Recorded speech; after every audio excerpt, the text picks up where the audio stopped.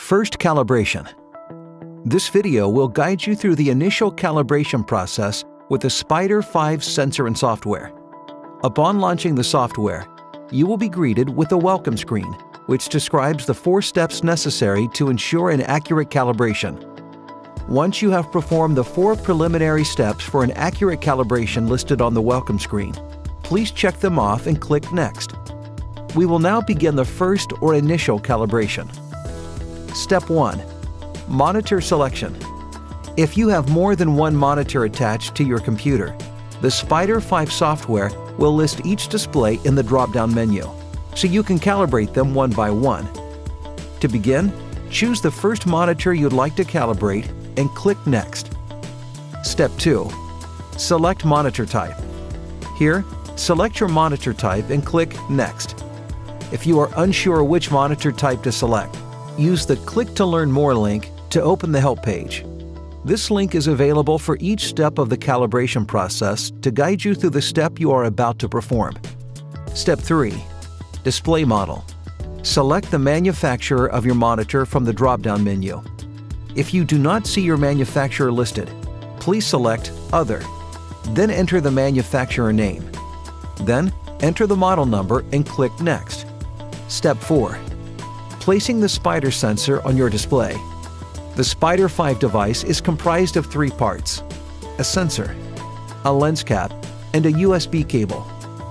First, remove the lens cap or base of the Spyder. You'll see inside the top of the Spyder the colorimeter sensor.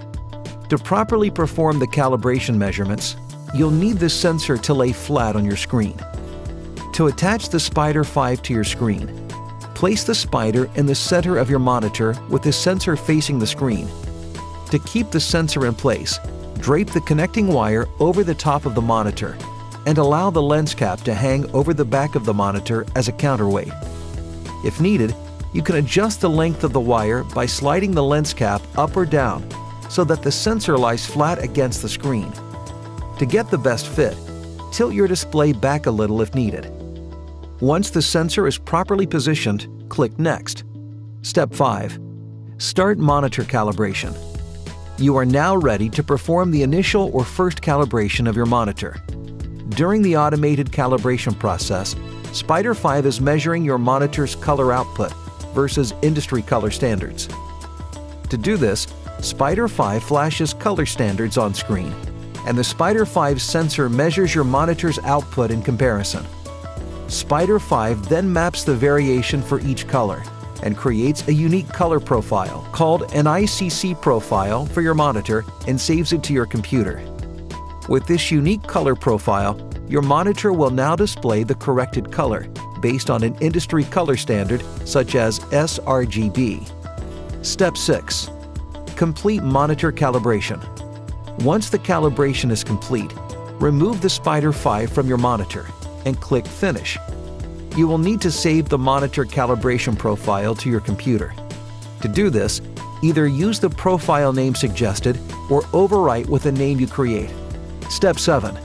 Recalibration Reminder Set a reminder to recalibrate your monitor monthly, then click Save. Why recalibrate monthly? A monitor's light output continually degrades over time, as the monitor will dim from age. Monthly recalibration will incorporate these changes into the color profile to ensure your monitor continues to show standard color. Step 8. Review results. Click Next to review your calibration. By clicking the switch button, you can toggle between calibrated and uncalibrated view. Any of the 16 test images can be enlarged by clicking on them. Here you will see the impact of calibration on color, highlight, and shadow detail, as well as consistency for grays and whites. If your computer has more than one monitor, you can click on Calibrate another display to run through the calibration process again. Step 9. Close down. Congratulations! You have now completed your first monitor calibration. Click Quit and the Spyder 5 program closes, and your computer now uses the new monitor profile automatically, ensuring correct colors and the highest precision in your work. You will receive a monthly pop-up reminder on your computer to recalibrate.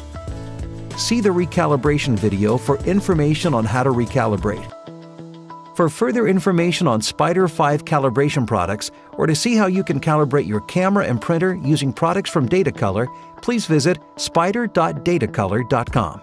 For further product support, please visit support.datacolor.com.